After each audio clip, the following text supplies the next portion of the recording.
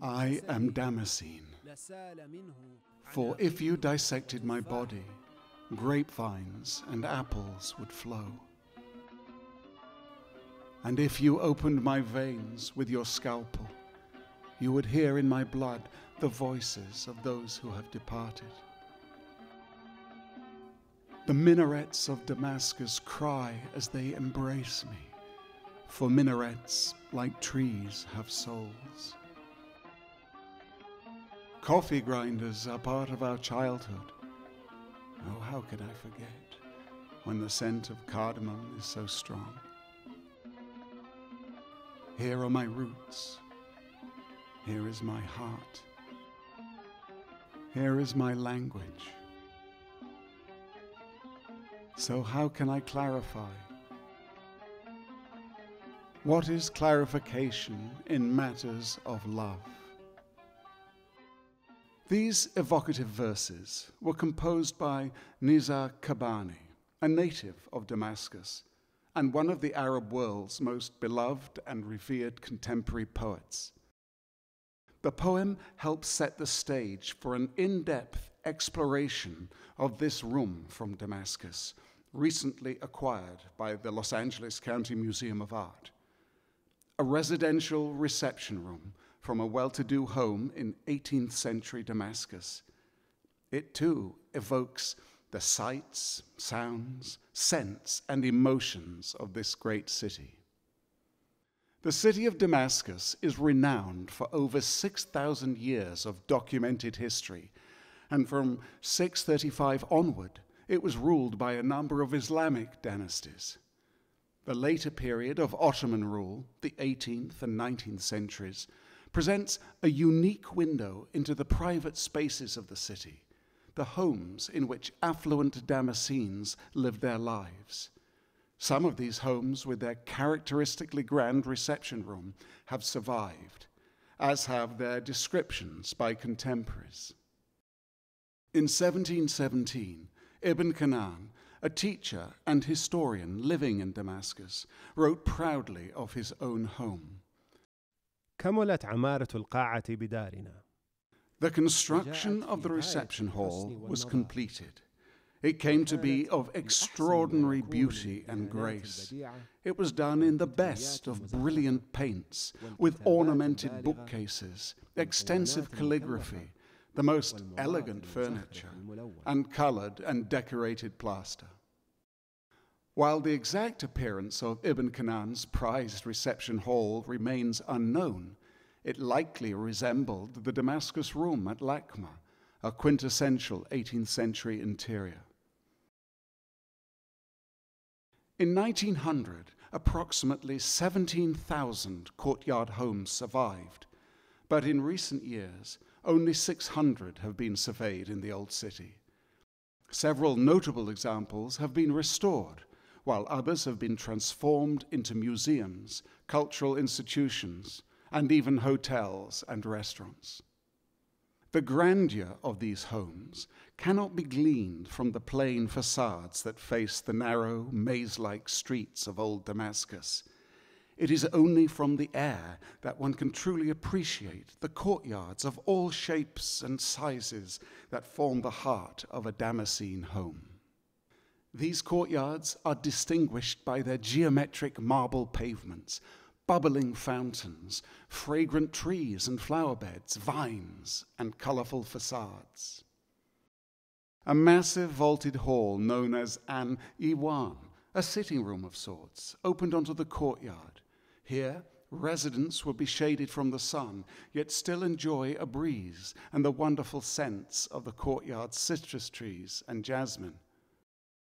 Around the courtyard are doors leading into various types of interiors, including a rectangular hall divided into two parts, of which LACMA's room is an excellent example.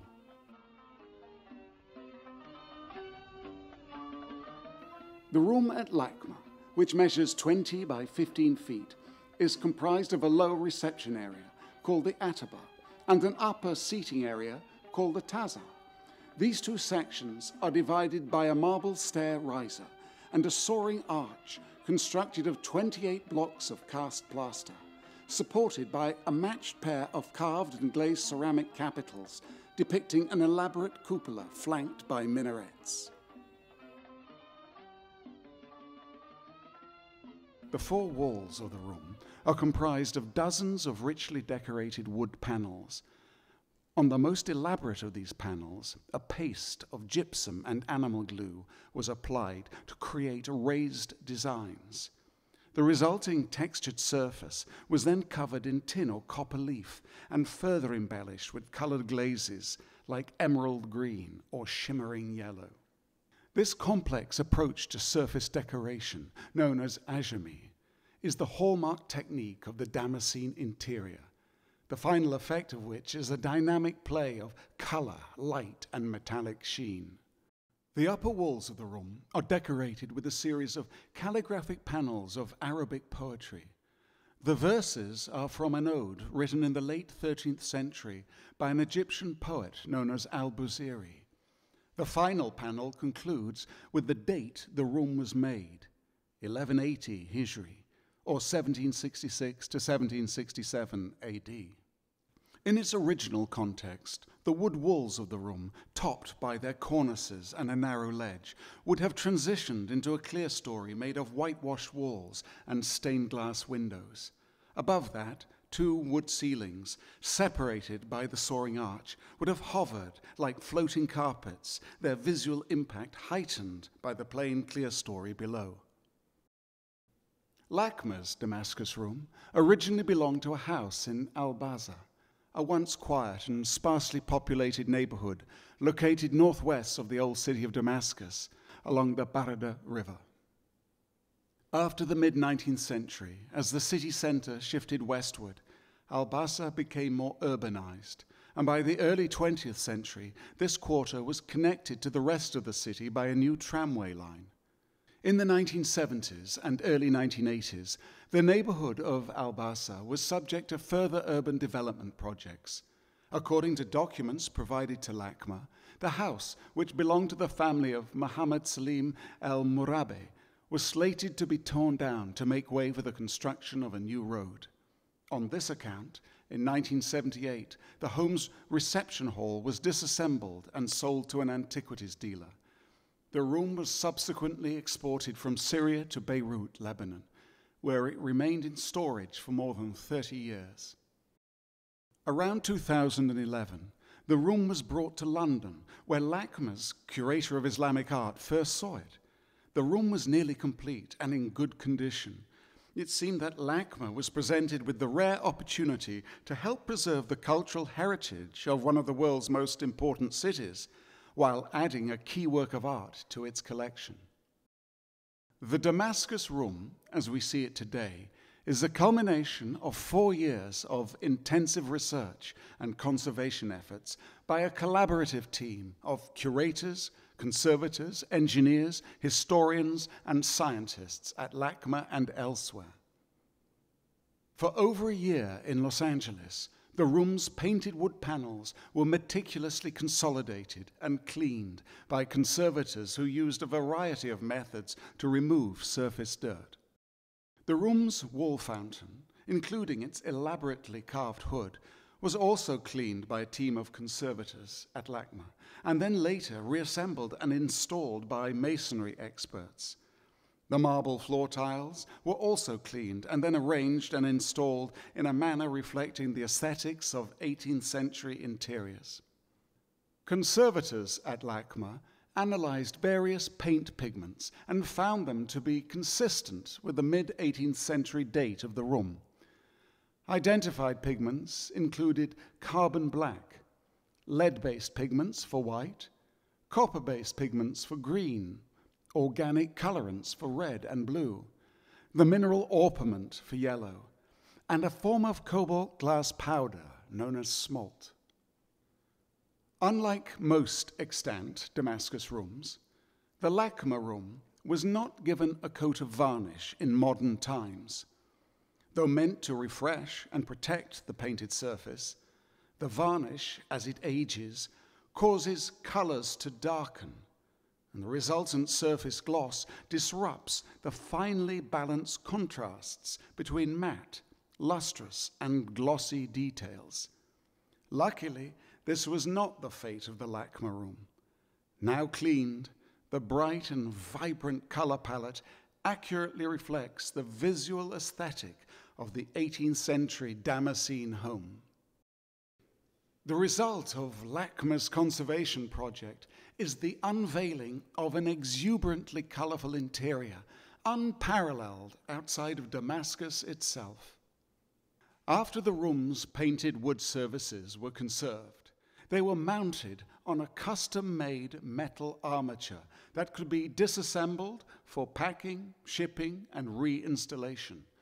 This remarkable mounting system makes LACMA's interior the first ever portable Damascene period room, allowing it to be displayed at other museums in the future. In 1756, Alexander Russell, a British physician living in Syria, wrote of rooms like this one, saying, The divan is formed in the following manner. Across the upper end and along the sides of the room is fixed a wooden platform, four feet broad and six inches high. Upon this are laid cotton mattresses exactly of the same breadth, and over these a cover of broadcloth trimmed with gold lace and fringes hanging over the ground. A number of large oblong cushions, stuffed hard with cotton and faced with flowered velvet, are then arranged on the platform close to the wall. The terrace floor in the middle, being first matted, is covered with the finest carpets of Persia and Turkey. In the process of converting LACMA's Damascus room from a domestic interior into a museum period room open to the public, we too have made modifications based on the practical circumstances, requirements, and tastes of its present function and context. This process is ongoing, and with the advancement of scholarship and the integration of new technology, the Damascus Room at LACMA will continue to evolve, as can be seen in this latest iteration. For now, though, the room offers a chance for visitors to temporarily escape from the hustle and bustle of modern times and to enjoy for a moment a glimpse into a once secluded world. We can be transported back in time to imagine and experience the gracious hospitality of the Damascene home.